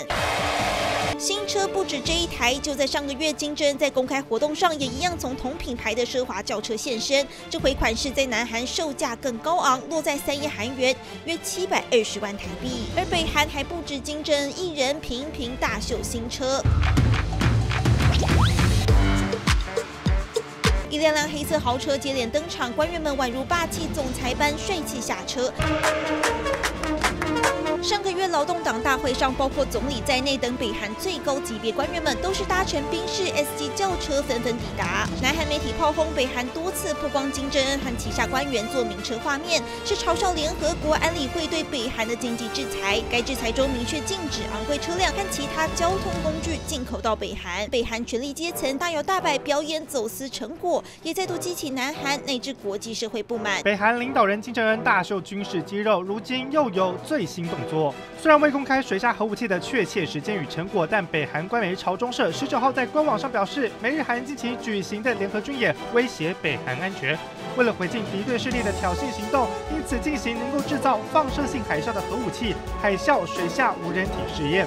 不仅如此，北韩官媒更释出纪录片，妖魔化美日韩三国结盟关系。南韩媒体表示，纪录片当中除了不断鼓吹发展核力量，金正恩去年八月视察兵工厂时，后面的红色挂牌上更写下敌人正在点燃战火，应加速生产武器，消灭南韩傀儡政权。우리는전쟁을바라지않지만결코피할생각또한없습니다二零二四年才刚开始，金正恩连放狠话，宣称与南韩和解是错误的政策，还批评试射能够携带。 核弹头的超高音速飞弹。不过，专家分析，金正恩祭出开战威胁，恐怕叫嚣成分居多。CNN 报道指出，金正恩频频挑衅的自信，主要来自于与盟友中国和俄罗斯之间持续深化的紧密关系。有老大哥撑腰，加上国际局势持续动荡，如今再度大秀核武器试验，也让东北亚紧张态势继续升温。好，回到金报新闻线，还有更多来宾加入我们的现场。首先，先欢迎财经专家邱敏焕，敏焕哥，你好。雨晴好，大家好。好，稍后呢，谢彦成财经专家也会加入我们的现场，我们就来看一下呢，最近北韩。金正恩又发疯了吗？之前金正恩不是才狂吼说，谁拿核武威胁北韩就要核爆他？没有想到现在核爆自己的居然是金正恩自己吗？去年三月已经来过一次了，请问一下瑞德哥，北韩这次又发狠了，来个水下核爆，是要针对谁呢？对，没错，听起来很可怕，听起来好像不得了，对不对哦？水下核子试爆，核子鱼雷。好炫，好可怕！那为什么好像全世界，包括国际股市，好像都没有什么动作？因为很简单，那个是落伍的老旧东西啊！啊，为什么呢？因为呢，北韩曾经都数次在这个陆地上面核子试爆啊，那引起这个国际以美国为主的联合国制裁嘛。那这一次呢，北韩又号称宣称他在日本海的附近呢，经过大概七十一个小时在水里面这样绕啊绕啊绕啊，哈，成功了由他的所谓的海啸五至二十。三试验的相关的和所谓水下核子鱼雷，然后进行试爆成功，然后呃还听说还这个呃侦测到一个呃二点四的这个相关的这个等于说呃地震就对了，因为核子试爆那个会爆炸型会有引发那个呃对没错。那为什么呢？哎，尾送嘛，尾送尾送。那美国呃以这个核子动力潜艇卡尔文森号为主的战舰跟日本两艘。南韩两艘继续，呃，三国总共九艘在这个附近呢进行这个所谓的济州岛附近的联合军演啊。这个地方是三个国家，呃，九艘潜艇，当然包括下面一定有核子潜艇啊，九艘这个战舰啊，下面一定有核子潜艇，然后包括这些那个那个呃相关的飞机啊等等啊，这就是要动射，呃，动射动吓一下北韩麦克阿雄要拜的地方哈。那你要知道一件事是什么呢？因为呢，那么为什么刚刚讲说北韩的这个水下啊鱼雷核子是吧，没那么严，没那么严重？它只有一个功用是什么呢？以前以和香港航母舰队为主，我把你弄啊，在附近，bang 起来对吧？哈，把你这个这舰队炸掉。但后来像这样的大规模的那种贵啊涨价、贵啊霸价那种那个海战已经过去了，所以现在呢比较啊不，而且它的杀伤力比较小。为什么？因为你在海底引爆，那海底引爆料对吧？哈，你最绝大部分的相关的杀伤力都被海水给吸收，所以你是变成局部性的。所以这也是。包括美国有，俄罗斯有啊，大家都有。到后来，美国还有一千多颗，连报都不想报了。到到后来，大家就不再发展。不过，它的这个北韩因为太落后，速度又太慢哦，所以呢现在还不成气候。不过俄罗斯要小心，为什么？俄罗斯又快啊又狠啊，又有一万多公里，北韩这次只有一千公里嘛，俄罗斯有一万多公里啊，号称可以端掉你一个美国的沿海的大城市或者是一个大基地啊哦。那么除此之外啊，比较让美国反而比较注意的是哦，这个北韩常常发射它相关的这个呃这个飞弹啊等等啊，那它现在呢，俄罗斯发射北韩制的飞弹哦，为什么？俄罗斯的飞弹因为啊已经发射到六七千枚以上了，某啊某飞弹欠缺弹药，所以正式跟北韩要，他们已经正式合作了嘛。那北韩给他这些啊飞弹呐啊给这些炮弹呐很多，不过他们要注意的就是说，有时候这些品质没有那么好。品质没有像那个他们俄罗斯曾经发生过那个呃坦克一发射出去，砰，膛炸啊！这辆这辆坦有可能会克报废，伤到自己哦。对，没错，结果结果这辆坦克就报废没有错啊，所以反而这个是这个是北韩的这个产品这是武器吗？北韩出产北韩出品哈，有点这个要小心的，你知道吗？那除此之外，好。金正恩大元帅不仅带着他的这个长女啊到处去啊，告诉人家接班人是我女儿，对不对？嗯他最近你看顶顶级的 SUV 哦，GLS 六百啊，大概呢啊快要九百到一千万左右的这个宾士级的修理车，里面应该也有防弹设备干什么？这是他的新宠啊，他的新玩具。哎，他很公平哦，他不是只有他而已啊。为什么？金正恩自己换了这个千万宾士车之外呢，他的重要干部官员也都换新车。嗯，他在干嘛？他在嘲嘲笑美国为主的这些联合国。为什么？你们不是给我经济制裁吗？我还不是一样有钱换新车？他有些东西可以源源不断的偷偷出去啦。代表所有人偷偷提供给我的嘛飞弹都可以给那个等于说俄俄罗斯的，那我有些东西当然也可以从那个呃朝鲜跟那这个俄罗斯边境这样不断的交换嘛。俄罗斯会听你听你的吗？虽然俄罗斯也被这个经济制裁，可问题是俄罗斯毕竟比较大哦，所以呢，除此之外，那么。北韩，尤其是金正恩呢、他下令不准整个朝鲜。他现在不是说我已经跟你不是要统一了，哦，我已经不跟你南韩要统一，我要灭消灭你，我们是敌对两国，我要消灭你，所以他禁止他啊这个啊朝鲜的人民去看这个相关的南韩的韩韩剧哦啊，你如果越看韩剧的话，他就越生气。现在甚至于修改法律，最重可以判死刑哦。那么其看实韩剧判死刑，那么还好我没有在韩国，不然我都剃光头了呢。什么剃光头？你如果在北韩、朝鲜的话，你不知道枪毙几百回，被炮决解决了。两个十六岁的小朋友。就因为偷看韩剧，嗯，所以呢，不在众人面前上手铐，对不对？哈，然后呢，找所有的同学什么东西来看，为什么判劳改整整十二年？他他们才十二、十六岁哦关出，来不二十八了。呃，我跟你讲哦，你听清楚哦，不是在监狱里面或者在少年看守所，不是，是在劳改营里面。劳改营里面是要劳动服务，是要被虐待刑求的，所以他们能不能活着出来都是一回事。所以他借由这样的动作，恐怖统治，对不对？一方面他的女儿哦像个公主一样，对不对？但是别人的小孩，对不对？啊你感觉我怎么样？我的妈哦熊嘎利亚诺的对吧？你就知道金正恩现在在北朝鲜是如何实施恐怖统治。好，不过大家也说呢，你看哦，金正恩呢这个发了狂哦，甚至也让大家看说，哇，这个车子那么厉害，但是宾士车一千多万，这个曼巴赫开出来。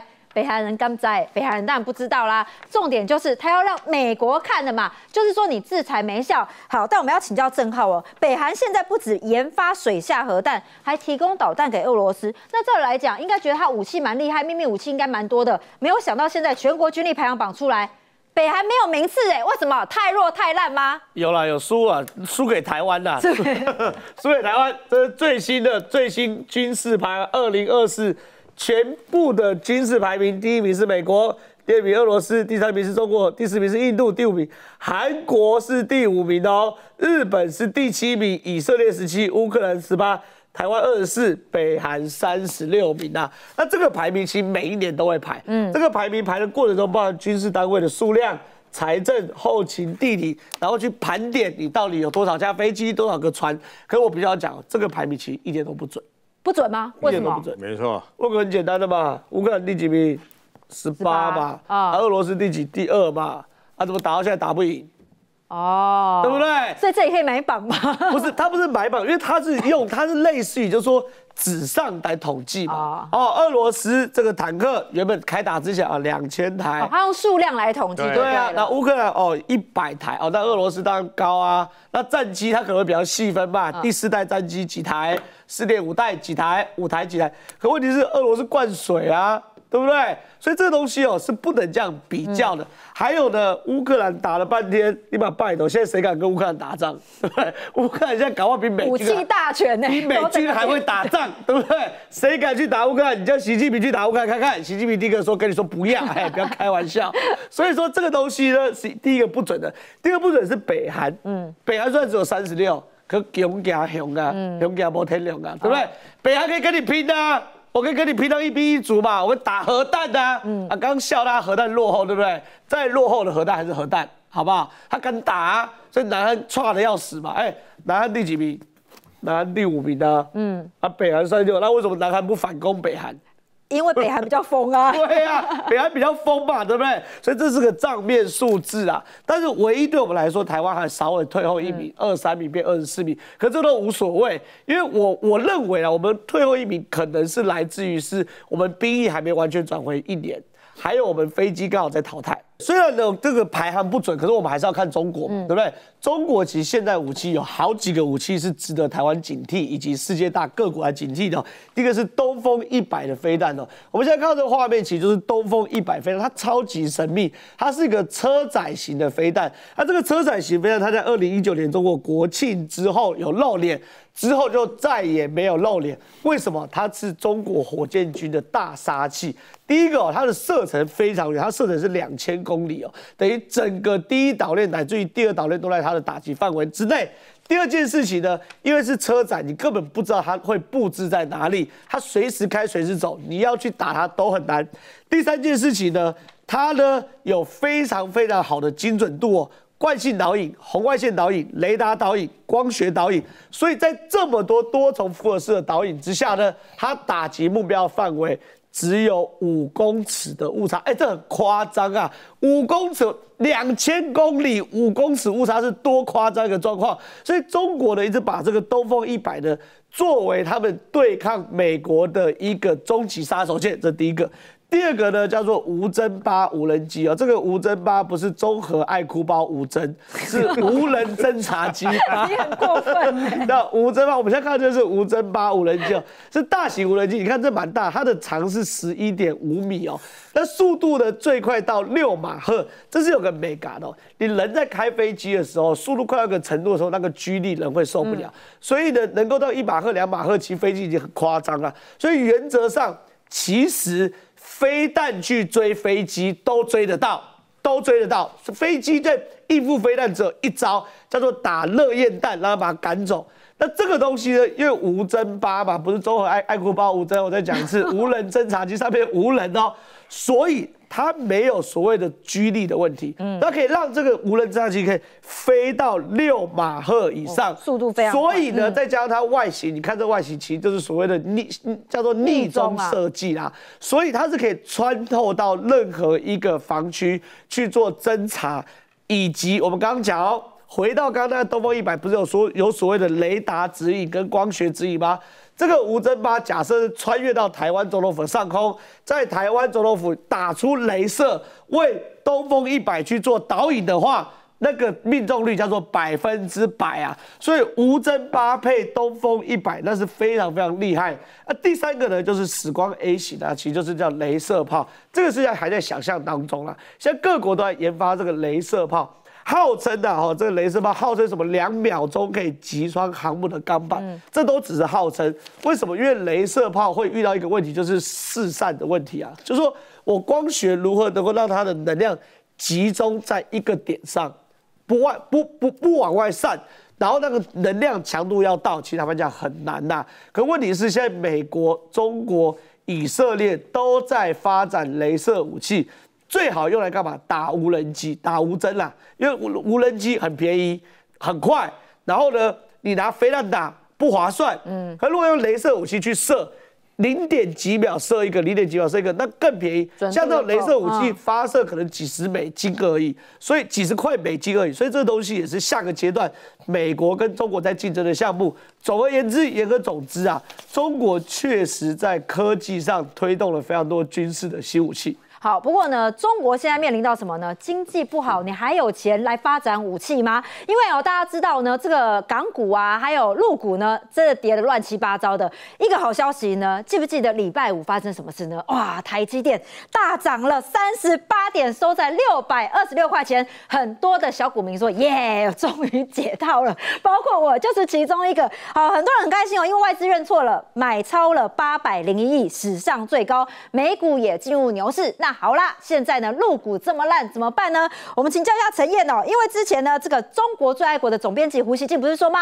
只要跌破两千八百点，他就直接跳楼。礼拜三开，砰那一根，其实大部分人都吓到，因为我觉得方向是不是弄错了？哦，就应该是往上，不是往下。对对对，应该是往上啊，还是我应该把荧幕倒过来看？哎，倒过来。大家期待的谷底反弹怎么没有反？没有没有出现哦。那当然也有人说，是不是因为川普？这个爱荷华州哇，全面性的南瓜最后胜出，对不对？初选的胜出，大家对中国股市跟经济未来发展更严重。实际上，我觉得这一个下跌其实还是在实际的反映投资人信心的一个不足中国自己内部的自己内部的一个问题，然后，那你看到胡锡进哦，所以我我有时候常常在讲哦，散户你买股票自己不要太大拉拉的宣传。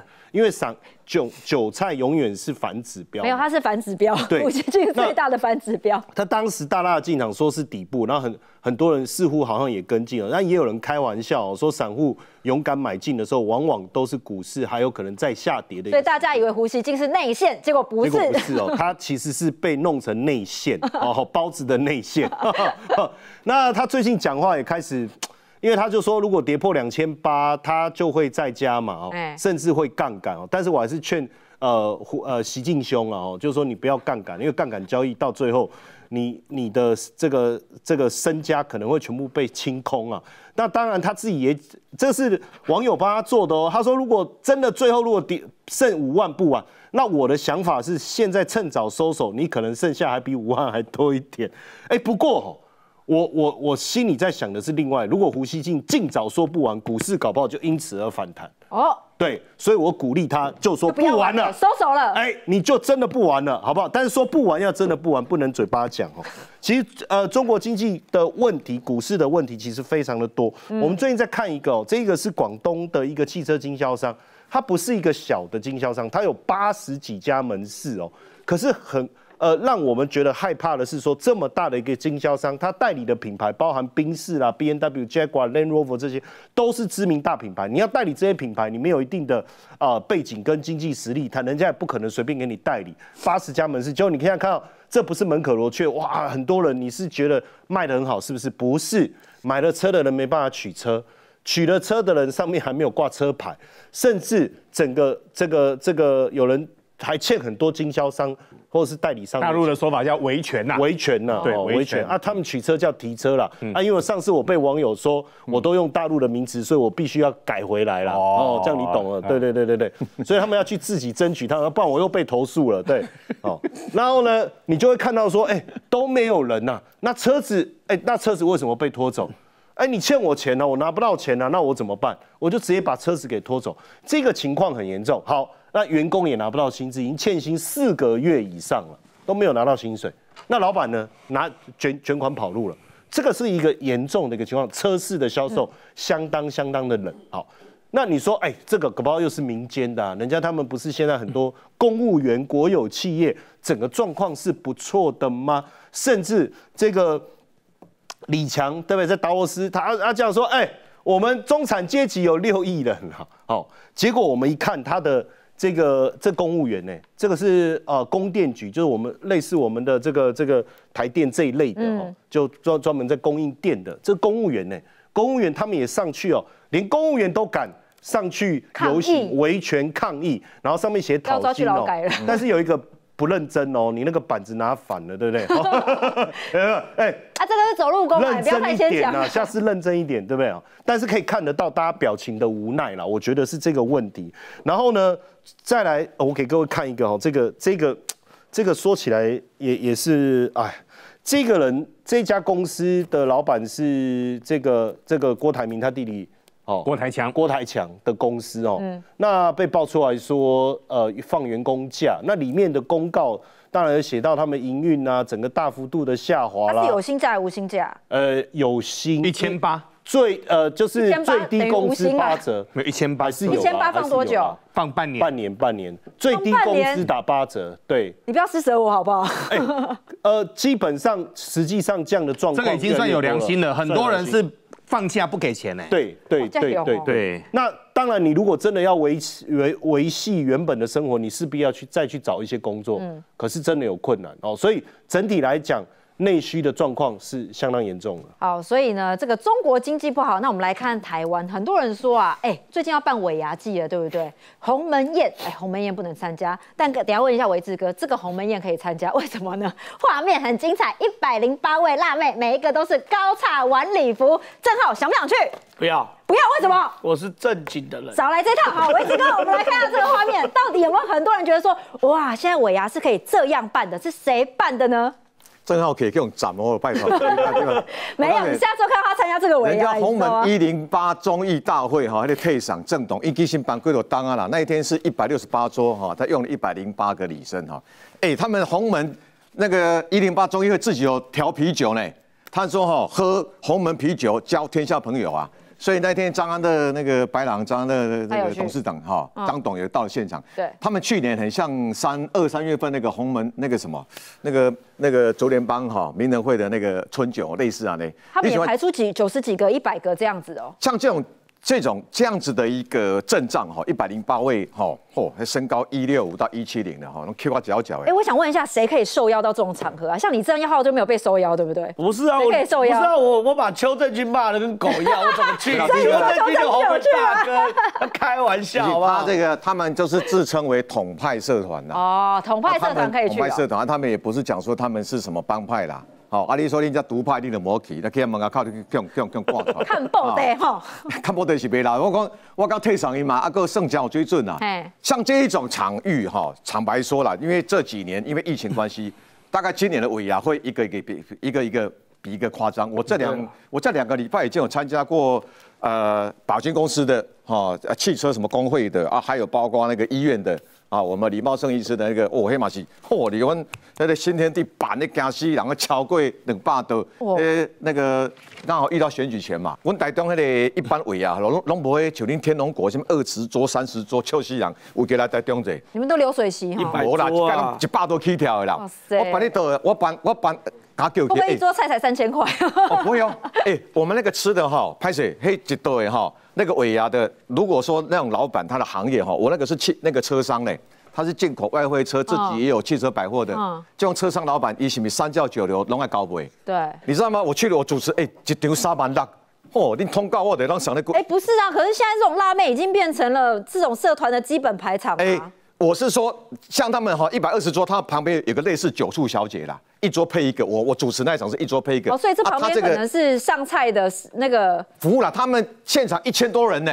哦结果警察去盘查，盘查六百多个人啊，波台基啊，哈，谢谢。你刚好一月八号，这个是上个礼拜，刚好选举快到了啦，所以大家比较敏感的。其实一般来讲，警察不会那么无聊，而且红门一零八的因这几个人，其实啊，我刚人嘛是啊个加加很上道了。我就我就讲我那个部分，我的那个主持的时候，因为很多来自中南部的，阿丹的讲，哎，各位，咱这纵贯所海选大哥吼，食鱼嘛食肉，食烤嘛食饱，红车嗰边生活好生佫袂赶吼，今仔日吼，咱担当的吼，这场落去安尼，这个陈董，我在我讲完知识没多久之后哈，因为我看那个 round down 本里面有一个叫做《美人鱼与野兽》啦，主播里面，我说美人鱼与野兽是什么菜色，我都没看过啊。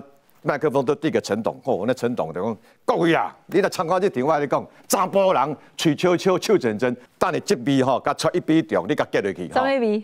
哦，啊来咯，就抬出来，鳄鱼先出来。鳄鱼？鳄鱼，呃，真的鳄鱼哦，我们台中是吃鳄鱼了。鳄鱼生鱼片你可能没有吃过吼，还，胶质老当呢。好，美人鱼来了，真的美人鱼，一个美人穿三点式的那个泳装，哎上面的生鱼片不。是啊，那个董事长夫人在旁边不是很生气吗？没有哎，那个当年啊，我那我那当年啊也不要哦，那当年啊，因为你想想，她老公做这种三教九流啊，，呵啊，你敢去家里有 C 点力？不会不会不会不会，诶、旁边的旁边有些董娘是面有菜色啦，讲恁做嘛给他请假呢吼，结果你给我黑边别看大，我掏钱这个菜里遐你讲鳄鱼、美人鱼。结果那个这个陈这个陈董的太太，她本身知道她老公做了这个行业比较、比较有灰色的啊，我就讲纵贯线跟这个这个海线的都有，所以说人家也都睁一只眼闭一只眼。但刚刚看到这个排队场合，在中国呢，我最近看到这样的排队，可能只有在 COVID-19 检查的时候，请教一下明宽哥。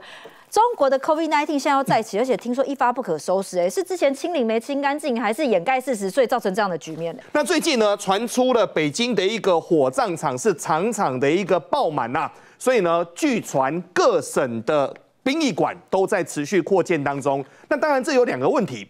第一个问题是中国的老人家很多，这个是全世界都知道的。第二个，为什么每逢冬天这么多的老人家，这么多的人会生病，会撑不过去？所以现在呢是二十四小时不停的一个烧，那好多人急呀。嗯，为什么急呢？因为中国他们现在有一个特殊的一个规定哦，人回天家之后呢，你尽量要快，因为怕。放着大体之后会持续的传染疾病，所以七十二个小时一定要火化掉。那有些人也希望能够早早的入土为安，因为他们现在全部都要进塔了。对，所以呢，很多人还要靠关系才排得到队，能够做火化哦。但这当中最近大家发现一件事不太对，为什么呢？最近在中国有出现那种所谓的箱型车，这个箱型车特别怪哦，这个箱型车走啊走的，它还会发出了阵阵的一个火焰。它的整个形状好像小型的一个焚化炉啊，所以呢，他们这个名词很特别，这个叫做移动火化车。那这个移动火化车呢，往后走，它那个烟呢，他们还有做处理哦。那他们现在还标榜说，放心，我们这个移动的火化车呢，都是无臭，都是无烟，还充分的一个燃烧。然后他们是侃侃而谈说，这个是来针对所谓的一个宠物的啦。可是大家怎么看都不像。雨晶，你仔仔细看哦，那个是不是把一个人放进去，好像刚刚好啊？那个感觉就好像把一个人放进去刚刚好哎，所以好多人就说，会不会一来是所谓的殡仪馆火化的设备不够，所以设立的这种所谓的移动火化车？但大家最担心的是，因为中国哦有一个非常奇怪的一个特例，好多人他可能器官衰竭需要器官，全世界都等不到，全世界都找不到，这时候有人会跟你说，你来中国来，你只要提得出一个好价格，你就可以买到一个器官供你来使用。所以好多人都在嘲讽啊，这个会不会是方便那种所谓的现摘器官之后，如果真的发生了什么事，可以现场来烧？这当然是一个我们对他的一个疑问。目前呢，官方他们就说，从去年哦，其实只有增加七十万人的一个死亡哦，但美国说，怎么是你们统计的七十万人，跟我们统计的一百八十七万人，整整差了一百一十万人呢？所以中国有很多总经的一个数字，有很多数学的数字，有很多卫生的数字，这个是要让大家全世界。怎么看都看不懂的，但我们不得来谈哦。各位，当时的科兴疫苗，中国他们说我们中国有十四亿人口，所以那时候在出现了武汉肺炎的时候，他们非常快速的，他们就用所谓的科兴灭活疫苗。什么叫灭活呢？他直接把那个疫苗死的病毒，病毒把它弄死了，死了之后。死病毒直接打到身体里面，那全世界其实都不看好这支疫苗，为什么呢？因为死病毒到底有没有对身体有产生足够的一个抵抗力呢？这件事不知道。但科兴呢赚大钱，这是第一回事。一天说十一亿耶，一天就可以赚到十一亿耶。没有错，科兴赚大钱，这是第一回事。但没有想到科兴还行贿，行贿是什么意思呢？中国呢，我们台湾就是所谓的鉴宝署嘛，对不对？他们的国家叫做卫健委，嗯，国家卫健委的主任叫于鲁明哦，直接科兴拿红包、塞洋包合一，而且呢还爆出哦，因为科兴从头到尾这支疫苗没有经过完整的一个检验，最后面包括了三个月、包括了六个月、包括了十二个月的病后追踪，这个人不晓得，所以传出呢造成很多包括白血病、脑栓塞等等的一个所谓的一个后遗症哦。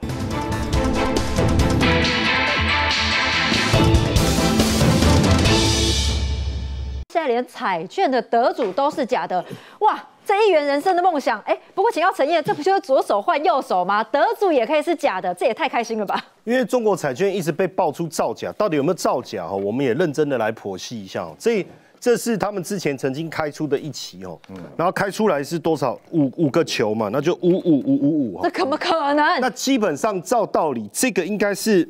几率很低很低很低，好，没没关系，就几率学来讲还是有可能出现。好了，但是但是重点来了，哦，有几几注中呢？五千九百六十六注中注，这暗盘吧？重点是他们刚好把钱全部分完，哎，所以就分光了。所以大家都有来人领奖哦。对，没有，所以后面就都没了嘛。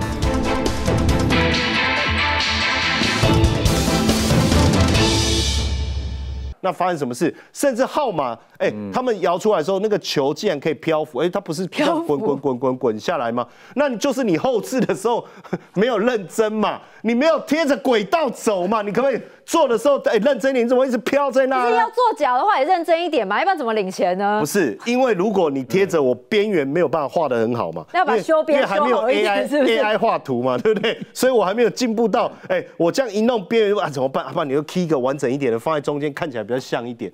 其实问题很多了哈。那当然，最近这个中国官方可能为了平息这个弊案哦，抓了一票官员十四个哦。